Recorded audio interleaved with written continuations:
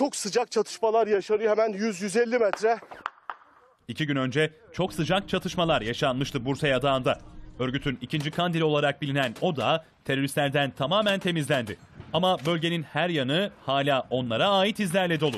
Kastel Cindo köyündeyiz. Bu köy Doğu cephesinde Türk Silahlı Kuvvetleri ve ÖSO tarafından terörist unsurlardan temizlenen ilk köy olma özelliğini taşıyor. Hemen üst tarafta yine o alışık olduğumuz e, Bursa Yadağı'ndan alışık olduğumuz kuleler var. Üst tarafta o noktalara gitmemiz biraz tehlikeli. Onu e, söylemekte fayda var. Evet bu arada atışlar da devam ediyor. Bursa Yadağı'nın hemen her yerini oyan, kendilerine en sağlam betonlardan kaleler yapan teröristler köyleri de köstebek yuvasına çevirmiş. Burası da teröristlerin e, karargah olarak kullandıkları binaydı. Zeytin Dalı Harekatı'ndan önce çok sayıda odayı görüyoruz. Burada bir kapı var. Şimdi oradan gireceğiz. Mehmet Ali başına dikkat et buraya.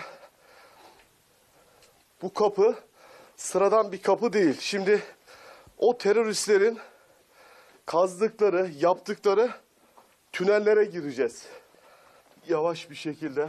Gel Mehmet Ali. Evet.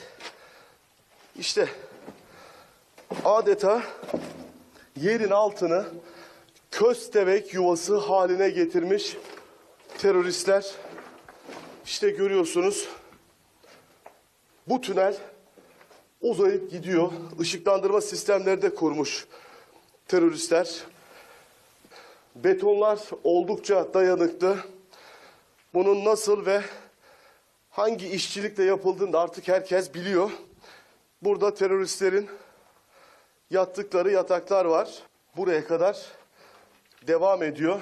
Bu noktadan da bir çıkış var ve bu çıkış noktası bu tüneli kulelere bağlıyor.